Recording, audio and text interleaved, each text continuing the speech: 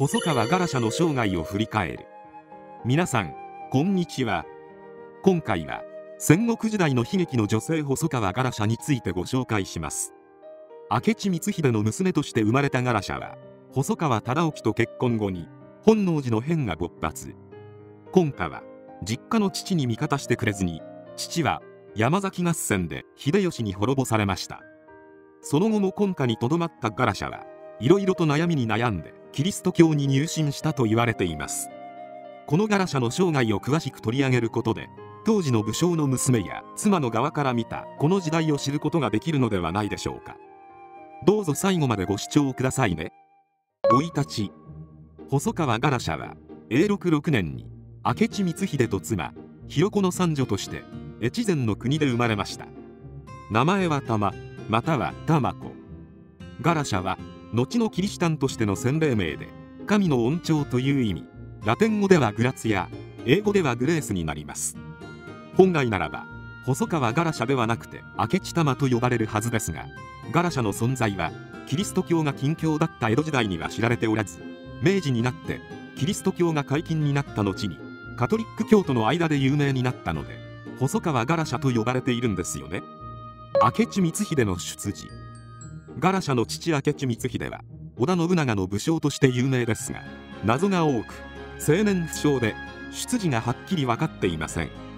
いくつかの説をご紹介しますね。光秀は岐阜県可西広見瀬田の明智城の生まれで美濃国の守護の時氏の一族であると言われていますが父の名前がはっきりせずこの名門明智氏とのつながりが見えないのです。通説では光秀は時氏を追い出して美濃の国主となった斎藤道三に仕えたのですが工事2年に道三と息子義達の親子が対立して道三が敗北したので浪人しました。光秀はその後越前の国へ行き一条谷の朝倉義景に10年間仕えて長崎少年時の門前に住みました。この越前時代にガラシャが生まれたわけです。光秀はこの長崎少年時で医学の知識を身につけたと言われまた永禄の変将軍義輝の弟義明を報じて越前に来た細川藤孝と知り合いました。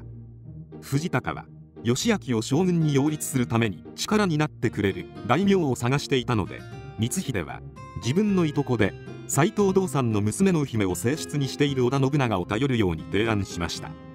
そして信長の助力で義明が上洛を果たして15代将軍に就任したのですが義明と信長が不和になった後は信長に仕えたのです。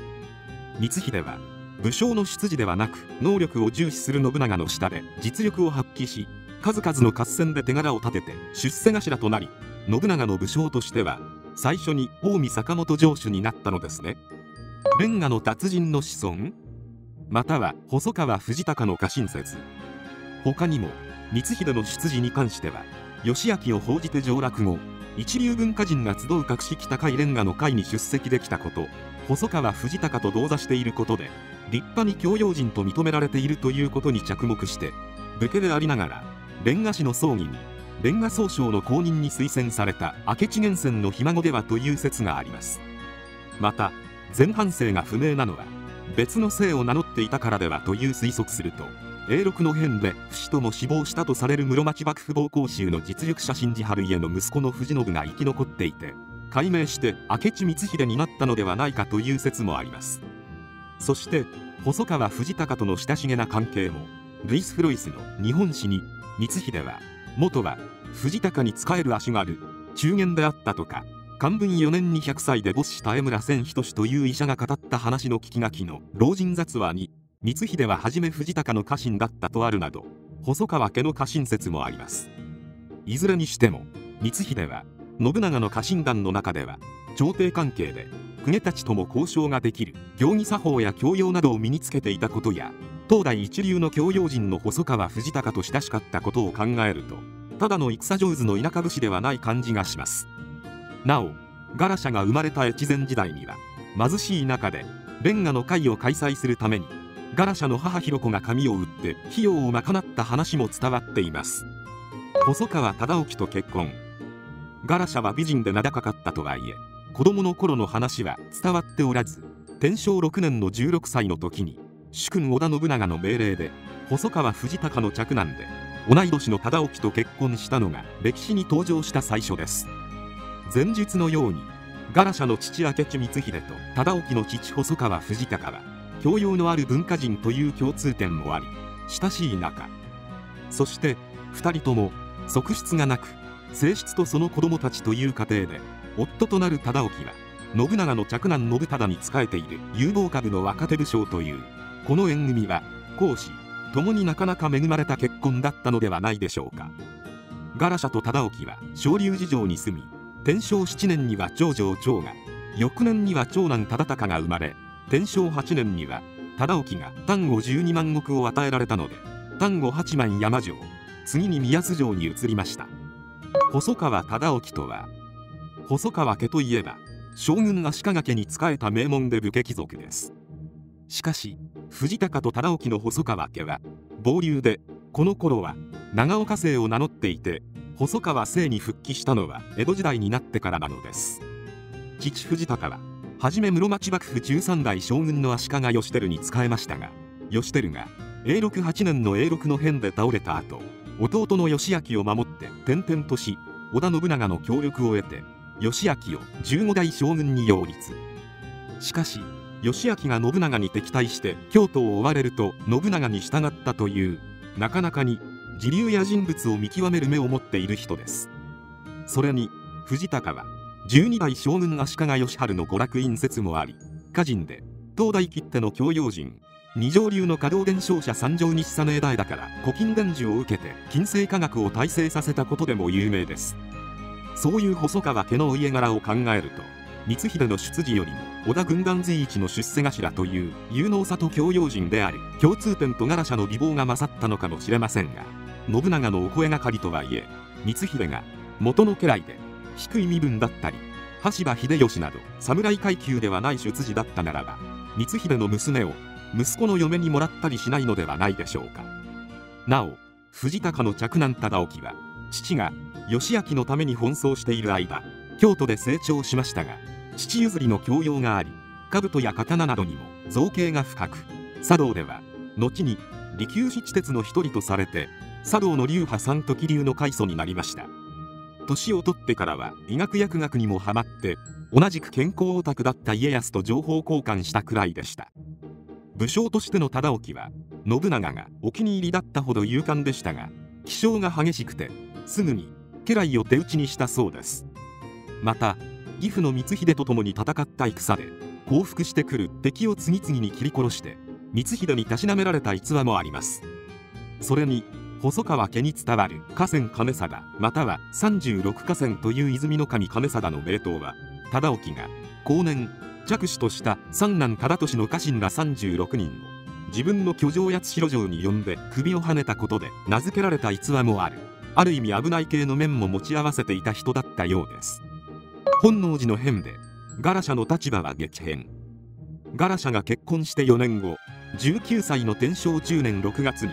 ガラシャの父明智光秀が主君の織田信長を本能寺で討つという事件が勃発しました。本能寺の変後の光秀は信長にとって代わって織田家の武将たちを支配するために細川藤孝と忠興の加勢を当てにしていたのですが2人は光秀の味方にはならず。藤孝は信長を弔うと言って剃髪し有罪と合して隠居。忠興は光秀の敵となる羽柴秀吉に組みしたのです。なぜ細川家は光秀につかなかったのかは謎ですがおそらく光秀は事前に藤田からに相談せずに突発的に本能寺の変を起こしたためにその計画性のなさで藤高は光秀の天下はないと見限ったのではと言われています。なお光秀からの藤高が剃髪したことを咎める書状は現在も細川家の衛星文庫に残されていますが歴史家はこれが全てではなくおそらくその前に光秀から来た書状は証拠隠滅されていると見ているようです。結果として細川不死に協力を断られたことで光秀の滅亡は決定的になり中国大返しで帰ってきた羽柴秀吉に山崎合戦で敗れて明智家は滅亡。ガラシャは実家を失ったのですね。水戸野に幽閉される。その後の江戸時代の価値観で光秀は主君への反逆者とされ一族連座して悪者とされたというのですがこの時代はまだ下克上の気風があったので光秀はそこまで悪く言われないのではという説もあります。しかし本能寺の変直後各地で混乱が起こったのは確かで機内を観光中だった非武装の徳川家康一行は落ち武者狩りと戦いつつ必死の逃避行で伊賀越えを行いやっとの思いで岡崎城に逃げ帰りましたし同じく機内観光中だった武田信玄のおいで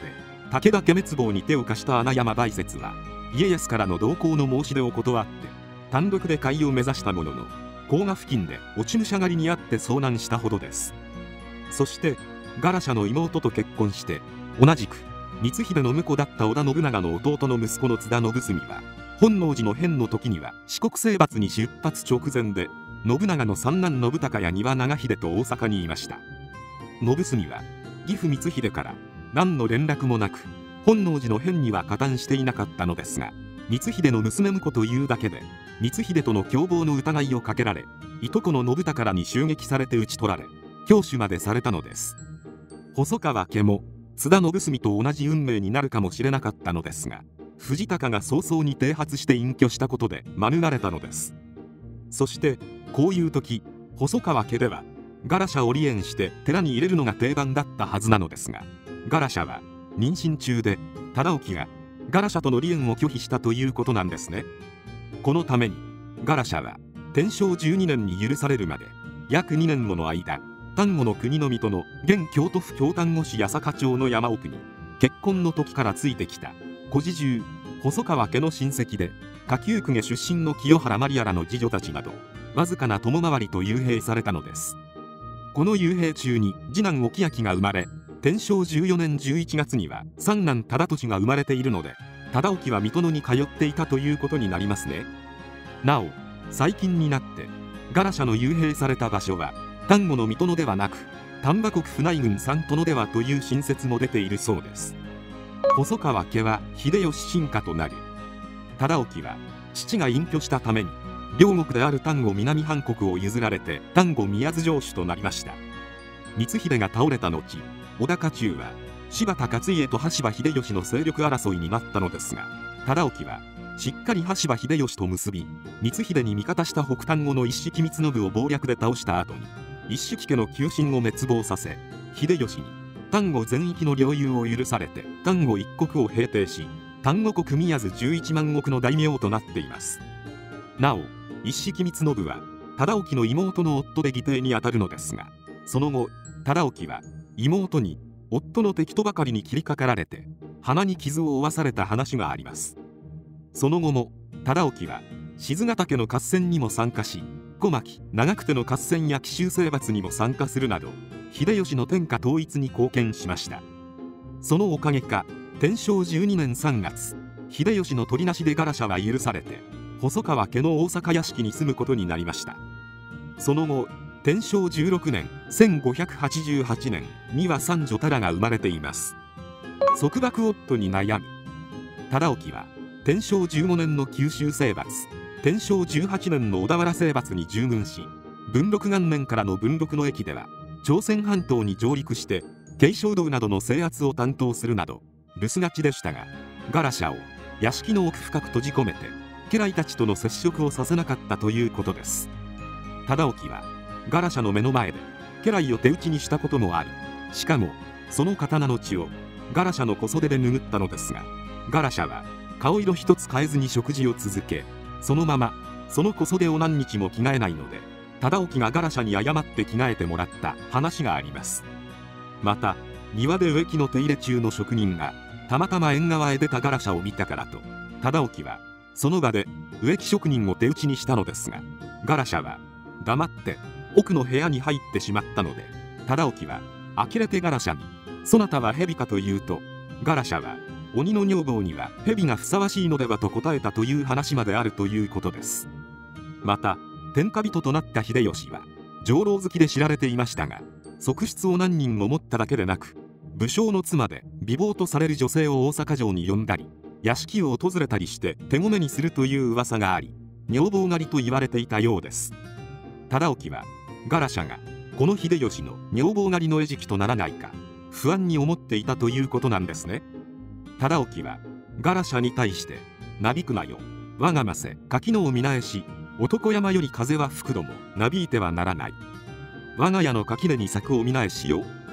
たとえ男山から風が吹いたとしてもという歌を送りガラシャはなびくまじ我がませ柿のを見なえし男山より風は吹くどもなびきません。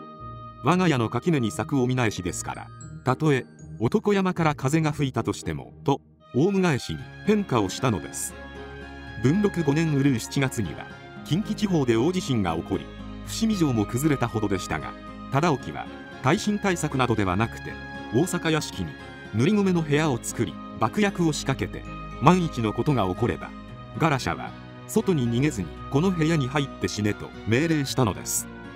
現代でも愛情というよりも執着心を発揮して経済的身体的な DV などを行ってパートナーを支配し束縛する異常なカップルもいますが忠興はガラシャを支配しガラシャを他の男性に取られまいとか自分を他の男と比べて気持ちを移されては困るなどと妄想を抱いたとしか思えません。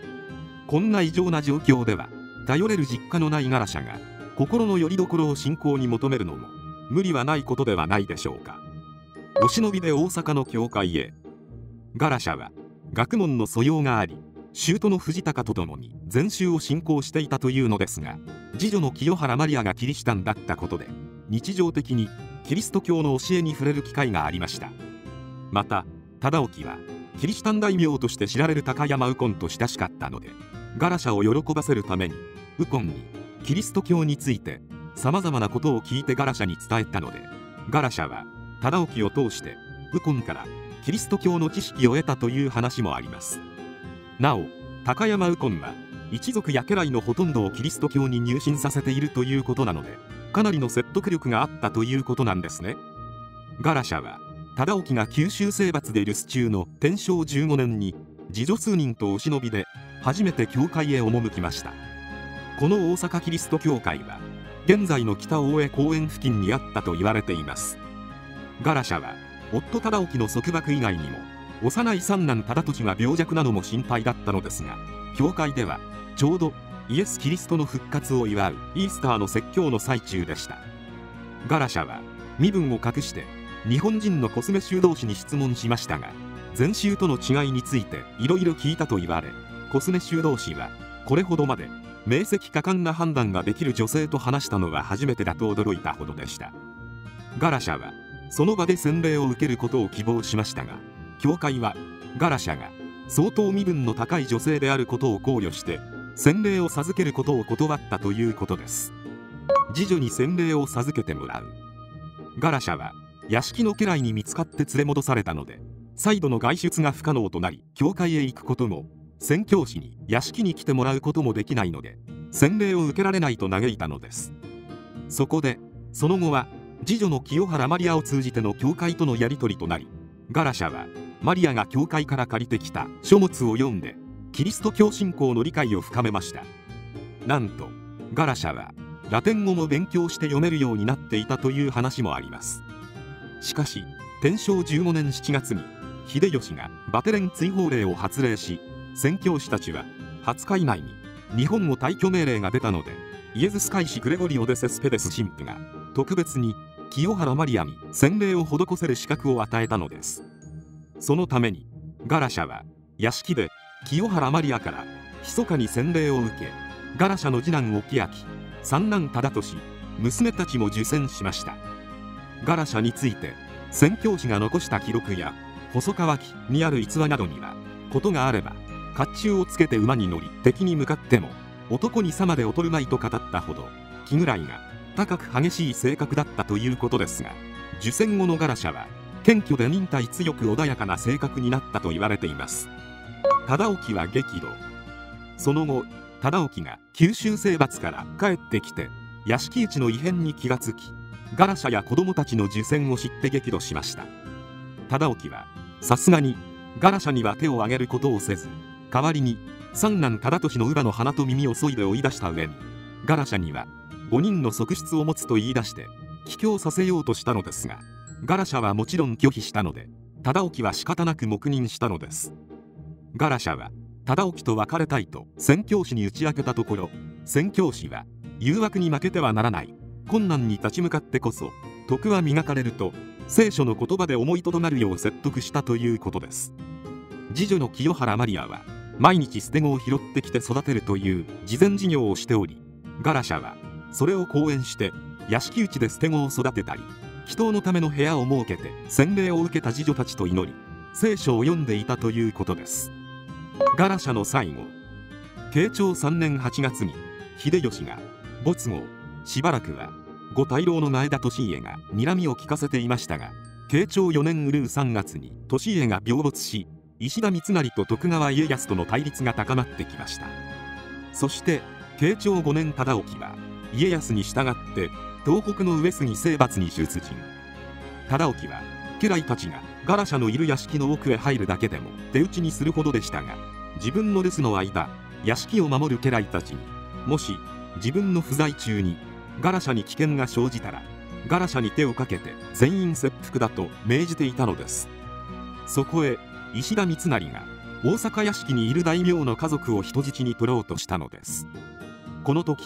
他の大名の奥方は家臣の起点で変装したり長持ちに隠したりして逃亡させましたが忠興の妻への異常な執着は有名だったので三成はガラシャを人質にすれば他の大名の妻子も簡単に人質になると思ったようでした。